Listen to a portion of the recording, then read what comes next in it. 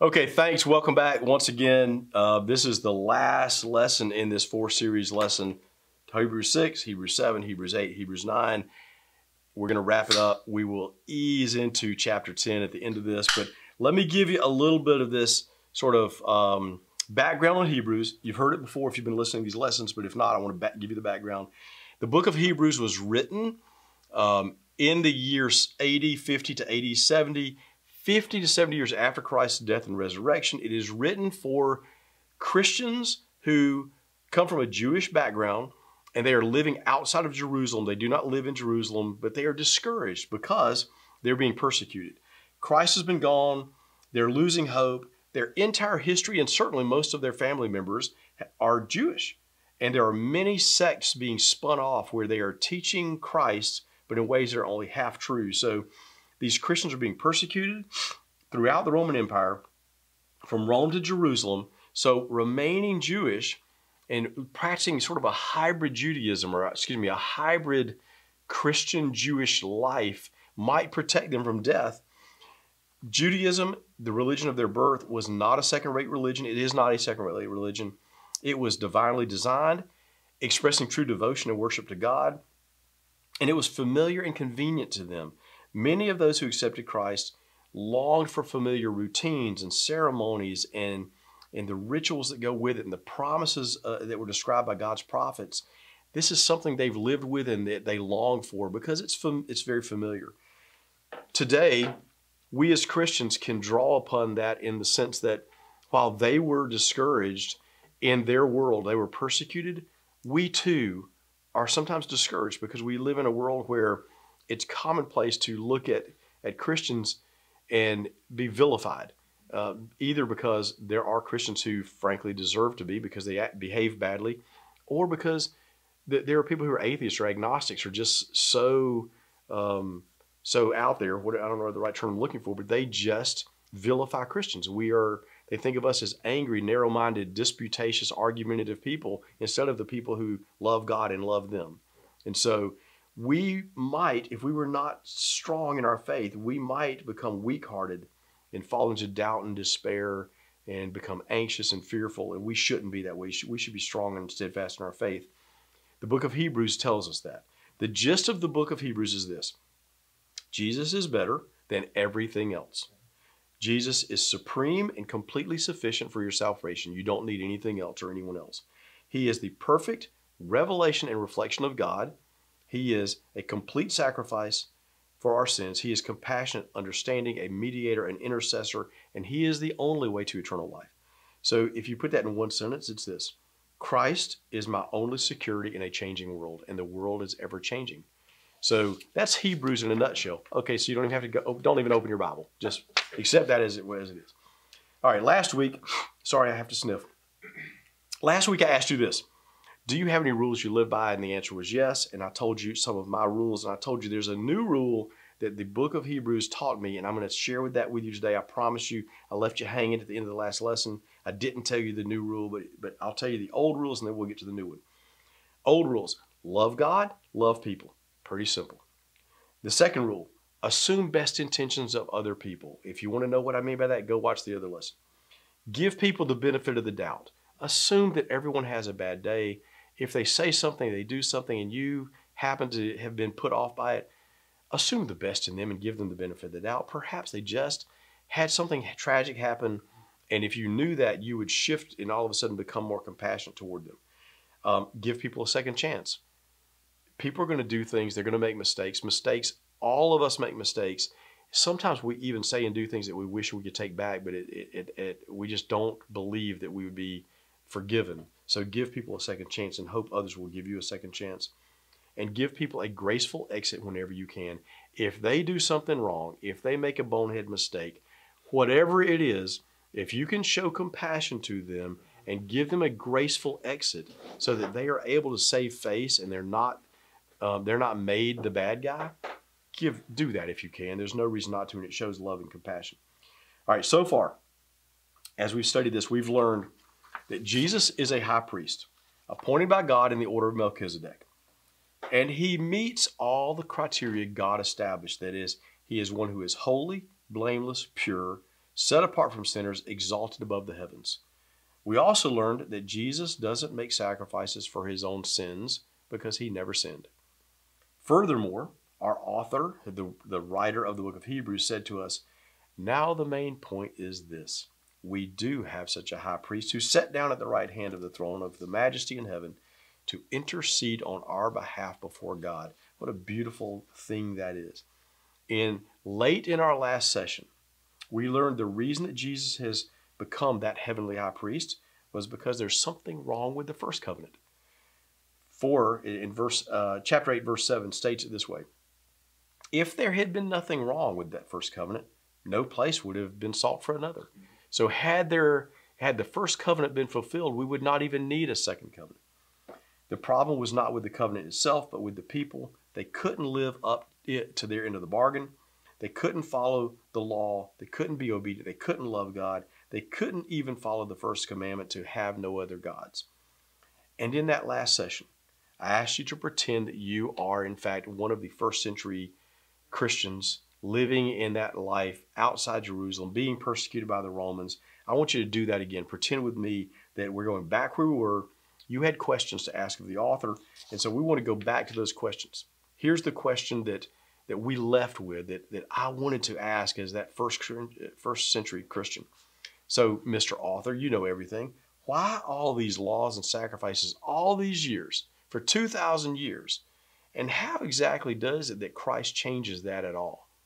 So the author, in his patience with us as people who have sort of quit trying to understand, he says, why don't we read something here? Let's look at Hebrews chapter 9, verses 8 through 10.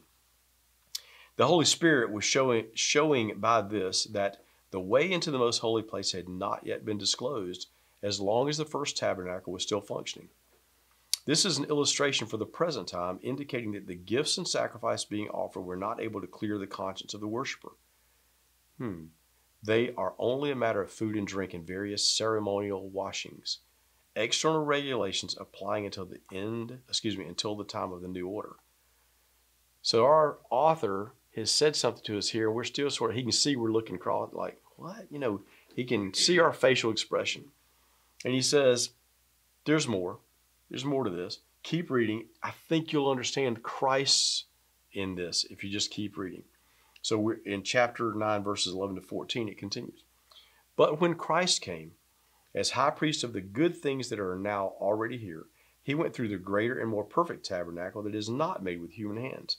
That is to say, it is not part of this creation, which goes back to our earlier discussion about is there a tabernacle in heaven? Mm-hmm. And Moses created a tabernacle here. There's a copy of the one in heaven. This seems to validate our belief, which is that the tabernacle is there is not a part of this creation. Continuing verse 12. He did not enter by means of the blood of goats and calves, but he entered the most holy place once for all by his own blood, thus obtaining eternal redemption. The blood of goats and bulls and the ashes of a heifer sprinkled on those who are ceremonially unclean sanctify them so that they are outwardly clean. How much more then will the blood of Christ, who through the eternal Spirit offered himself unblemished to God, cleanse our consciences from acts that lead to death, so that we may serve the living God? And then when you jump to verse 15, it finishes like this For this reason, he has died as a ransom to set them free from their sins committed under the first covenant. So, hmm, the author now looks at you and says, Okay, Christian, do you see the difference now? The acts that lead to death is sin. Pretty straightforward. Sin leads to death. And Jesus died so that our sins are forgiven.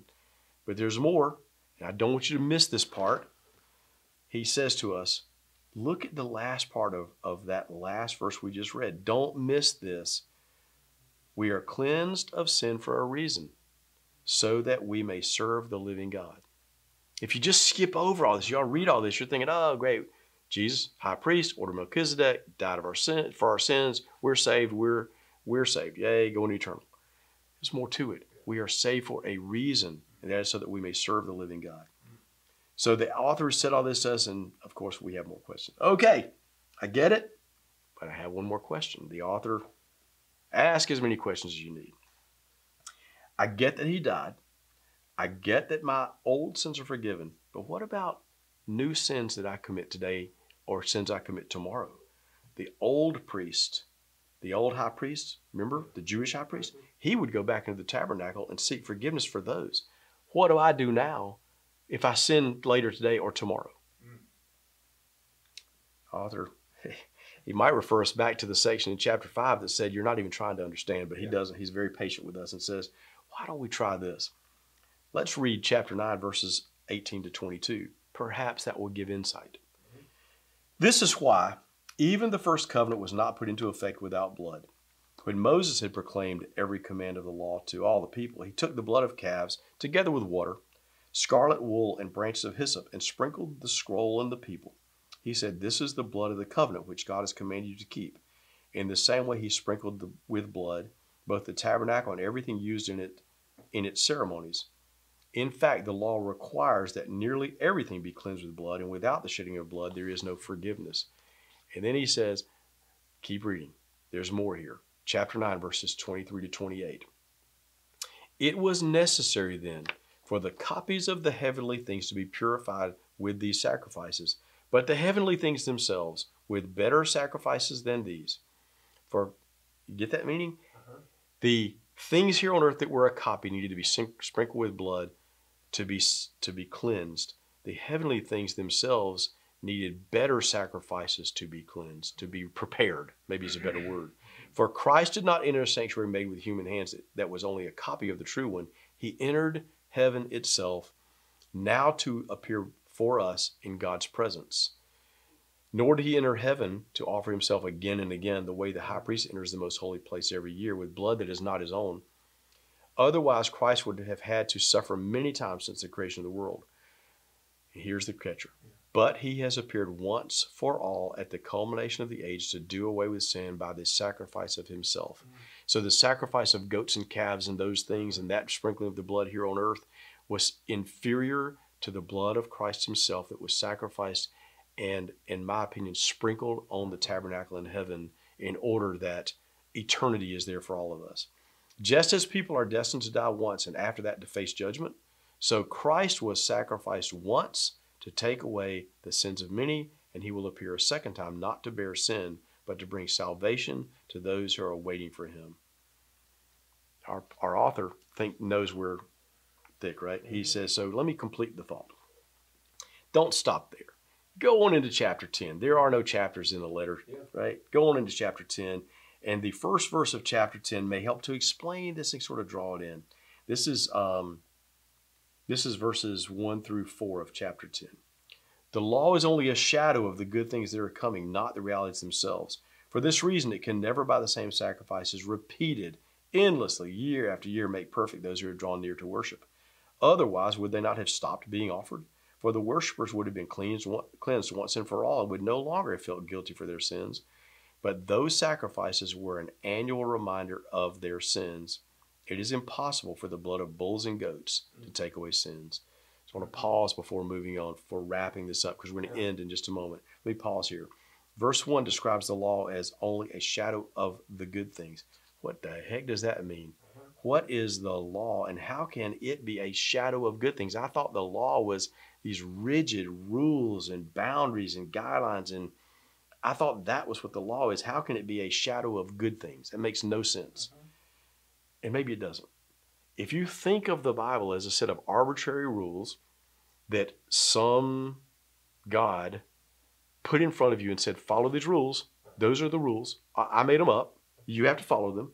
If it's arbitrary, it's like if you give me a rule and tell me to follow, I'm going to go, you know, first off, why? Yeah.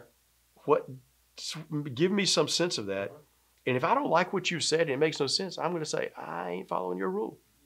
It, it makes no sense. Why would I follow a stupid rule? And so, if you think of the law as rules and boundaries, then perhaps you're looking at the law in the wrong way. And that's why you can't see it like this scripture speaks of it as the shadow of good things. Let me read you to, from Proverbs and Psalm and give you a better or different sense. Because the Jewish people do not think of the law the way most Christians do. The Jewish people think of the law as the teachings. Mm-hmm. It is the things you can learn. It is the way to know God. Mm-hmm. It is a hunger they have, and they reread the Torah cover to cover every year. And when they finish, you know what they do? They roll it up uh-huh. all the way back and they start over again. And they first, before they start reading again, chapter 1, verse 1, they take the Torah and they dance around the tabernacle with it in the dance of joy. Uh-huh. I mean, we should read the Bible from end to end and then pick it up and dance around our house in the dance of joy, but we we're typically not that um, we don't. Anyway, so here's what Proverbs says. Proverbs 13, 14 says, The teaching, which is the Torah, the teaching of the wise is a fountain of life. Proverbs 31, 26 says, Speak with wisdom and faithful instruction. Faithful instruction is the Torah. Psalm 1 2 says this, and this is the Jewish translation of Psalm 1 2. The teaching of the Lord is his delight, and he studies the teaching day and night. So, our perception of what the law is, if we think of it differently, all of a sudden that verse comes alive that the law is a shadow of the good teachings, or the teachings, these are only a shadow of the better teachings that are to come. So, that's the way we should be envisioning what the especially the Torah of God, the first five verses of the Bible are about. Verse 3 says this. Um, in fact, it explains why the sacrifices are required. Because remember, we asked the question of our author, why all these sacrifices year after year after year after year? Pretty clear here. He says this is simple. These sacrifices are an annual reminder of your sin. The sacrifices made annually are to remind you that you are human and frail and a failure. And so, could you imagine if you're a, a Jew and every single year you're reminded of the guilt of your sin, what joy it is to be a Christian who knows that Christ has died once and for all for us. Um, in fact, what is Easter to us? It's it's like Yom Kippur for the Jew. They have an annual reminder of their sin, and they have an atonement, but not a forgiveness. Easter is an annual reminder of my sin and the the sheer joy and humility of knowing that Jesus died for me and that my sins are forgiven. So we annually have a reminder that we are sinners and we are forgiven. Let's wrap this up. Okay. Wrapping up chapter 9 by reading chapter 10. Chapter 10, verses 10 to 14. This says it like this And by that, uh, excuse me, and by that will, we have been made holy through the sacrifice of the body of Jesus Christ once for all. Day after day, every priest stands and performs his religious duties. Again and again, he offers the same sacrifices, which can never take away sins. But when this priest, Jesus Christ, had offered for all time one sacrifice for sins, he then sat down at the right hand of God. Whew, gives me chills. And since that time, he waits for his enemies to be made his footstool. For by one sacrifice, he has made perfect forever those who are being made holy. Who's that? Hmm. So, as a first century Christian, what's what's your reaction to all that we've studied here about Old Testament sacrifices, a New Testament covenant. There's no more need for repeated sacrifices.